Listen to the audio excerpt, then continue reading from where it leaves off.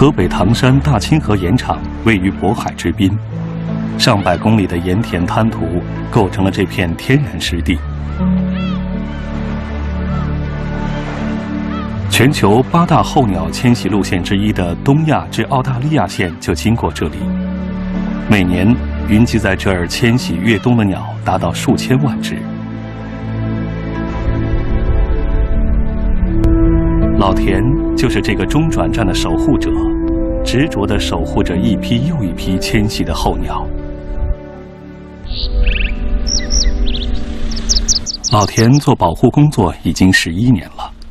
多年的经验使老田对救助、养生和野化放归都有自己的一套方法。这两只是东方角鸮，县林业公安局他们在拔网的时候共助过来的。爪子上粘上网的话，它这个鸟网会把他的脚勒掉，他肯定在野外生存不了。行，等到晚上就能把它放飞了。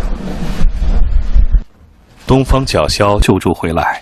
老田主要关注它爪子上的外伤，而隔壁的大宝，老田更关注它的体质。不同的病况，老田有不同的治疗方法。这个大宝正在换羽，必须得要吃有营养的东西，将来对它以外放飞才有一个强健的体魄。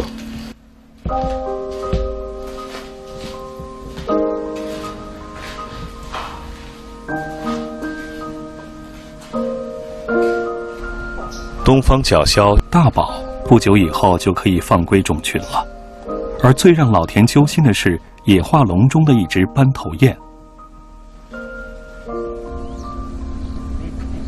老田与这只大雁结缘是在一个暴风雨之后的早晨，一只斑头雁被吹落在盐场，幸好被老田及时发现救活了。在此之前，老田在附近从没见过这种鸟。咱们这个河北这边呢，没有它迁徙的一个呃通道一个记录，所以它应该是一只迷鸟。它这个河北这条线啊，能观测研究到它，呃，对科研对以后的研究这个科研有很大的价值。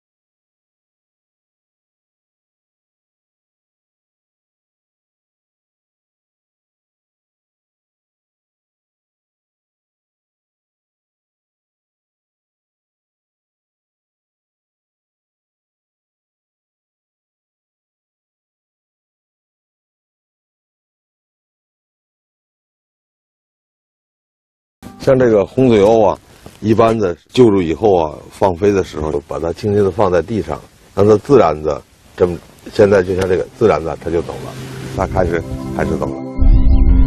野化笼里的红嘴鸥迫不及待的想要回到群体，融入第一波即将迁徙的种群。看到红嘴鸥顺利飞回种群，老田松了口气。这只红嘴鸥的救治算是成功了。除了红嘴鸥和卓玛，野化笼里还住着一对斑嘴鸭夫妇。他们因为营养不良而脱群，现在老田要把他们送回到原本栖息的岛上。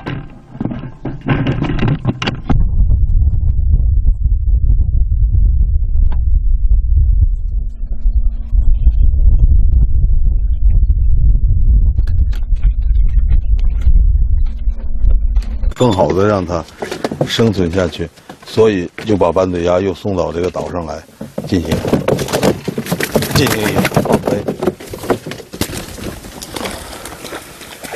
放两只，两只斑嘴鸭迅速游回了群体。看着两只撒欢的鸭子，老田由衷的高兴。他觉得这也许就是自己能够坚持着把这个救助站办下去的意义。然而高兴过后，老田又想起了那只孤独的斑头雁。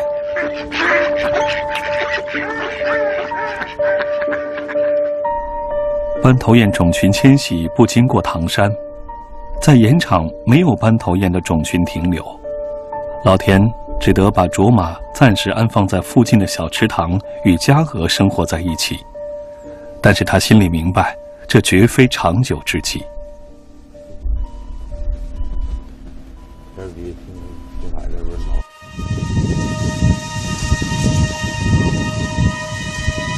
一个寒冷的清晨。老田突然发现，卓玛自己飞走了。被救护的孤雁独自离开，绝不是一个好消息。老田心里清楚的明白，一只掉队的斑头雁，独自在人类聚集的地区生活，即使不被捕杀，也难逃其他厄运。老田立刻开始在附近寻找卓玛。现在天一天比一天冷了。我想，是不是能找到他？如果找不到的话，在越冬都是一个问题。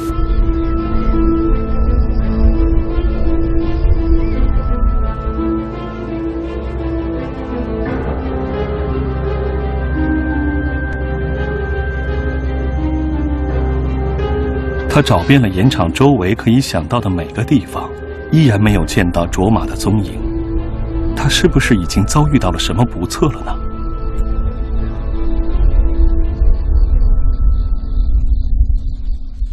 几天过去了，老田仍然没有找到卓玛，他几乎要绝望了。就在这时，让人意想不到的事情发生了。老田发现卓玛孤零零的飞回来了。卓玛没有找到种群，由于对食物的依赖，它只能飞回救助站。多年来，独自坚守这个救助站，干着不被大多数人了解的事情。老田觉得自己能够理解这只孤雁的心情，他决心要为这只雁做点事情。